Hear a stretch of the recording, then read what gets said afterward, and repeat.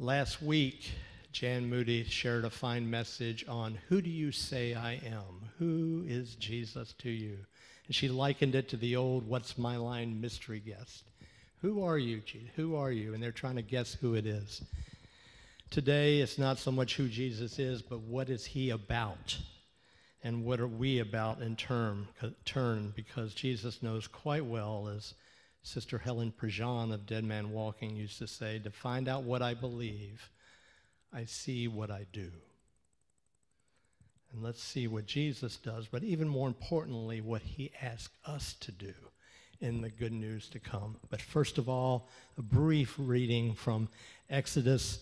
Those in the sanctuary cannot read that New Yorker cartoon. Moses is saying to the burning bush, Yeah, I could walk all the way to Egypt, or you could just free them yourself using magic.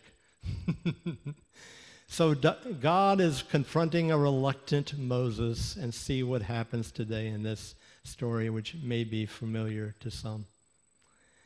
Moses was keeping the flock of his father in law, Jethro. He's basically an exile here. He, Jethro was a priest of Midian. He led his flock beyond the wilderness and came to Horeb, the mountain of God. There, the angel of the Lord appeared to him in a flame of fire out of a bush. Moses looked, and the bush was blazing, yet it was not consumed. Then Moses said, I must turn aside and look at this great sight and see why the bush is not burned up. When the Lord saw that he had turned aside to see, God called to him out of the bush, Moses, Moses. And he said, Here I am. The next slide. Then God said, Come no closer. Remove the sandals from your feet, for the place on which you are standing is holy ground. The Lord said further, I am the God of your father, the God of Abraham, the God of Isaac, the God of Jacob. And Moses hid his face, for he was afraid to look at God. Then the Lord said, I have observed the misery of my people who are in Egypt I have heard their cry on account of their taskmasters. And I want you to remember these final words because we'll touch on it later when we talk about Emmett Till. Indeed, I know their sufferings and I have come down to deliver them from the Egyptians and to bring them up out of that land to a good and broad land, a land flowing with milk and honey, to the country of the Canaanites, to the Hittites, the Amorites, the Perizzites, the Hivites, and the Jebusites, to all. The cry of the Israelites has now come to me. I have also seen how the Egyptians oppress them. So come, I will send you to Pharaoh to bring my people, the Israelites, out of Egypt. But Moses said to God, Who am I that I should go to Pharaoh and bring the Israelites out of Egypt? And now the Matthew reading. We're going to go through verse 26 today. It's really all about following Jesus, just as Moses is learning to follow a call that he does not want to receive. So hear the good news from Matthew's gospel. From that time on, and this is after Jesus, uh, Peter has said, You are the Messiah, and Jesus says, You're the rock on which I'm going to build your church. From that time on, Jesus began to show his disciples that he must go to Jerusalem. That's must, not as a prerequisite, but a consequence of what he's doing. It's not necessary what's going to happen and undergo great suffering, but it is inevitable. And Jesus knows that. He must go to Jerusalem and undergo great suffering at the hands of the elders and the chief priests and scribes and be killed and on the third day be raised. And Peter took him aside and began to rebuke him, saying, God forbid it, Lord, this must never happen to you. But Jesus turned and said to Peter, Oh, I love this. Get behind me, Satan. You are a stumbling block to me. Remember, Peter was named the rock of the church. Now, Matthew narratively turns it from rock to stumbling block. You are a stumbling block to me, for you are setting your mind not on divine things, but on human things.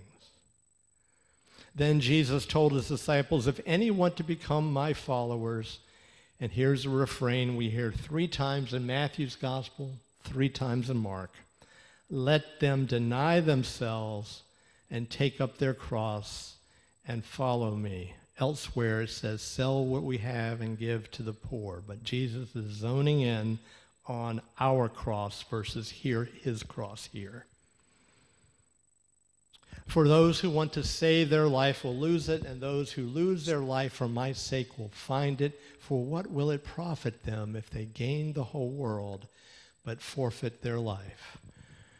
Or what will they give in return for their life? Hear what the Spirit is saying to us, the church. Would you pray with me? It's really not about Him, is it? It's really about our response. It's really about the burning bush, or at least the flickering fire in our souls. It's about our cross. Mm-hmm. Let us hear where that bush, that cross may be for us today and in our world. In Christ's name, amen.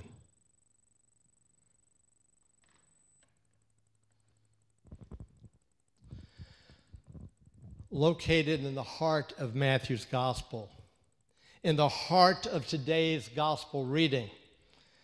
Located in the heart here, we encounter one of the most profound and yet abused teachings of Jesus in our times the teaching concerning self denial, true self denial. Self denial grounded in two foundations we go. Come on. There we go. Grounded in two foundations. First of all, grounded in the foundation of self in relation to Jesus. And second, self denial is grounded oh, in the foundation of self oh. in relation to faith community. We encounter these two foundations in Matthew's story today. First, we can truly deny self when it is founded in location, in location in relation to Jesus. Who we learned last week from Jan is uh, the Messiah, the Son of God. Now, for what he does or is about to do, on the other hand, let's start with this curious scene that has unfolded in our scripture today. Jesus utters a rebuke we who are more liberal minded might find difficult digesting. Jesus rebukes Peter, saying, Get behind me, Satan. Talk about your come to Jesus meeting. This is it. But laying aside that S word for a moment, Satan, note that Jesus is emphasizing the imperative for Peter to get behind him and to follow him. In no way is Jesus judging Peter here. In the strongest possible terms, he's fetching him up for trying to control his ultimate self denial and not Peter's own. Jesus' voluntary suffering, even a cross. God forbid it, Lord, Peter has insisted. This must never happen to you.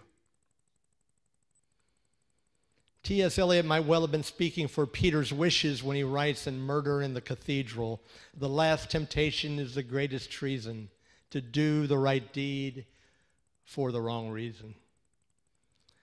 Peter's right deed, his wish to save Jesus' life, but the wrong reason, Peter, not Jesus, wanted it so. Or says it would be so. Hence Jesus' retort Get behind me, Satan. Don't deny who I am called to deny, and that is myself. As Howard Thurman once wrote, nothing is to be placed upon your altar unless it be a part of the fluid area of your consent. And this was Jesus' altar, his consent, that Peter is trying to mess with here. And when people try to mess with my consent and yours, sometimes we think, Satan, just get behind me. And that's what Jesus is saying. He's not focusing on what he's calling Peter here so much as get behind me, as in follow me with your own cross. For if any want to become my followers, he then says, let them deny themselves and take up their cross and follow me. Their cross, Jesus says about each of ours. Go back, go back to the previous one, please. There we go. Then we go to number two. True self denial is grounded in the foundation of self in relation to faith community. Their cross, Jesus says about each of ours, our one true unique calling of self, grounded in the foundation of self in relation to Jesus, but here in a relation to faith community as the story continues. How Jesus calls for self denial has been misunderstood in our society as just you and me, God, how Jesus and I feel about each other. It's so easy in the language of radical individualism to be caught in this spiritual windmill in the world. It's quite difficult, I've found, to understand that in the Jewish cosmology of Rebbe Jesus, and his earliest followers, a sense of self could not, could not be created apart from what is known as the body of Christ.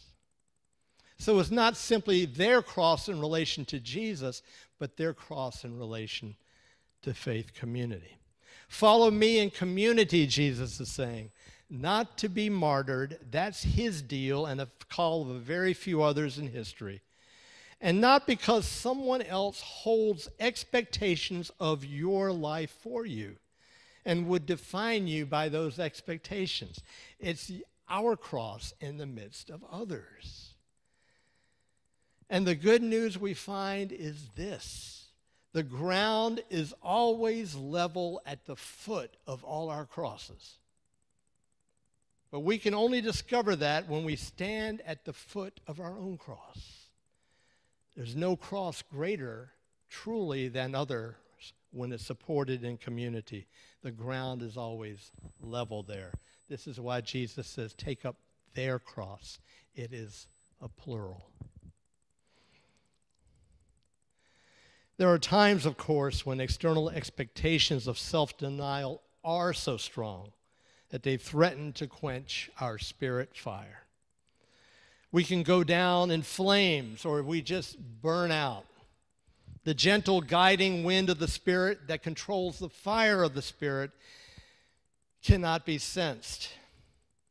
It happened to me in my 20s. Have you ever, ever feel like you burned out? No flame to guide you. You don't know what your cross is, and that cross is just too heavy anyway. Groping without a light, no authentic self to deny ever experience a dark night of the soul, Moses' plight today can speak to us here. For here we find Moses struggling to find what we would say his cross is. He's facing an identity crisis. In one respect, he's a native Hebrew burning with anger, groaning inwardly for the people and their slave labor plight. In another respect, He's an adopted upper class Egyptian, not enslaved, but free. Of course, he's running from the law here, but at least he's still got that advantage. To whom does he now belong? Moses. Where is his flame, his fire, his sense of authentic self? Moses is terribly conflicted. Like many I know, Moses finds his flame, his fire, his sense of self in community, beginning in an unlikely place, a desert exile. In a burning bush, calling him back to his peeps, his community, his blood relatives, the Hebrew people, to lead them to liberation a fire that seems to take over the bush but will not consume it, will not burn it out or burn him out. A holy fire taking over that bush that calls Moses not to take over the world like Pharaoh, but to give himself over for the liberation of his community. Once again, the foundation of the grounding of the cross is found not just in relation to Jesus, but always in relation to community. Give over, deny a true sense of self, which we can only do in our community. A sense of true self arising out of community.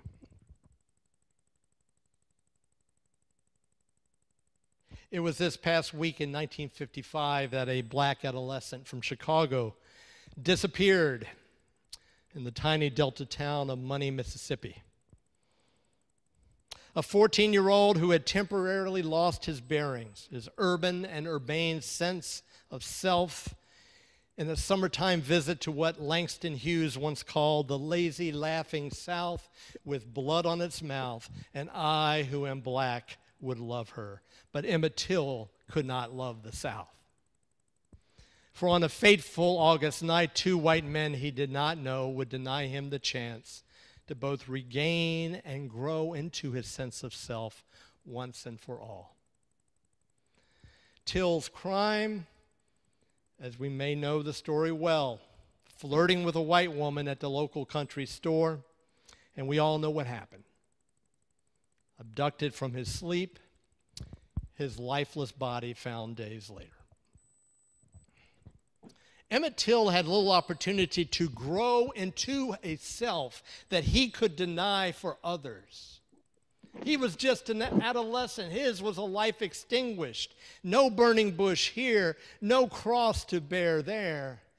Not for Emmett, anyway.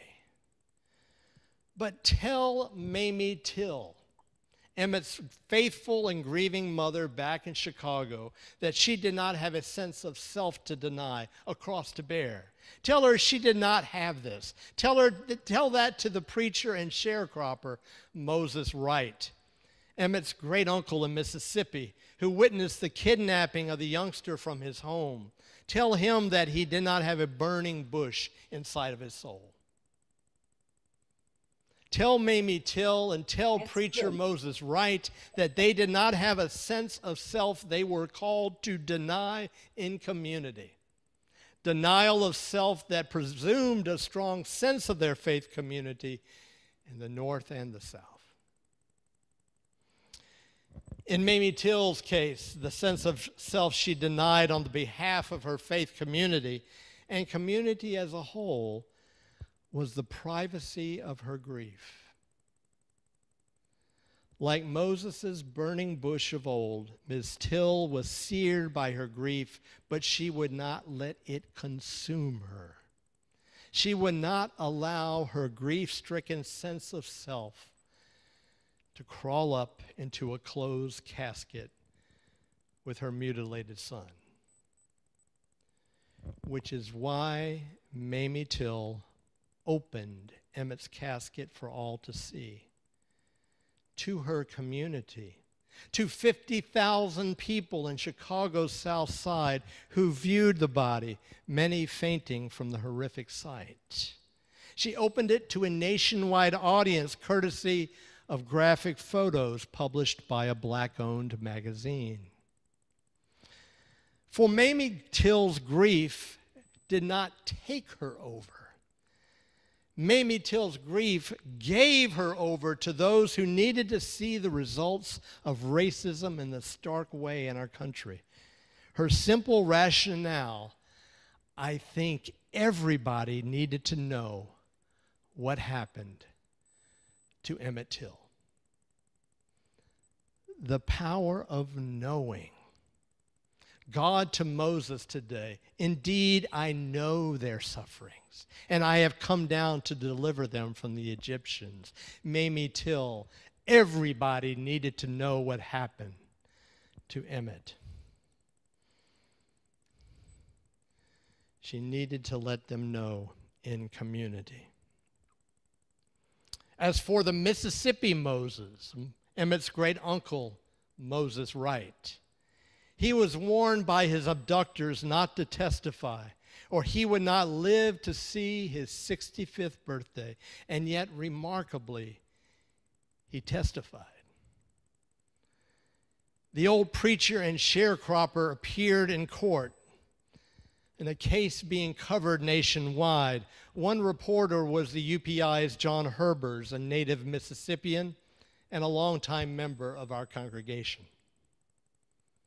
In the docket, Moses Wright pulled his suspended self up to the height of his five foot three frame, pointed a weathered figure at the finger at the two abductors, and declared to the jury two words that, as a PBS documentary would put it, would go down in history as one of the bravest moments in the civil rights movement.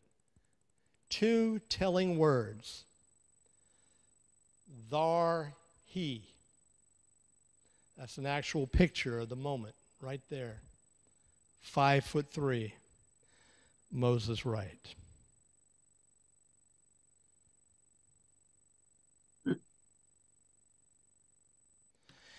After the trial, when the two white men were quickly acquitted by an all white jury, Moses Wright escaped on a train to Chicago to rejoin his wife who had already fled there. He fled there to a new faith community, and he continued to be a preacher. Leaving behind their three room house, their 1941 Ford, and cotton blooming in the fields. Again, PBS, it may have been the first time when a black man stood in open court in the South, accused a white man of a crime and lived. Preacher Moses lived just like his ancient namesake, testifying to criminal power. Thar he, Pharaoh, let my people go. Those who lose their life for my sake will find it, Jesus taught. Ask Moses, either one of them. Ask Mamie Till, all of whom discovered a new life from losing their old. Ask any faithful disciple who survives their dark night of the soul, discovers from the strength of a faith community a self aflame for God, and then discovers from a self aflame that there can be a self denial, but never a self consumed or never a self like the bush burning out. Not in the context of a loving faith community, anyway. This has been my experience, my repeated experience with church over the years. Self denial, grounded in a true sense of self, our own cross, has a home. That's, let me let you get out of here. So I invite you today, if you've not done so already, discover yourself from that self authentic self denial in the crucible of our congregations. For most of you, I'm simply preaching to the choir. But this is for those who may not have felt like they found a place to belong. A flame that will not take you and your life over, but it will allow you to give your life over, that does not consume a spiritual journey beyond our wildest imaginings. Imagine that a sense of self, a sense of self denial. Thanks be to God. Amen.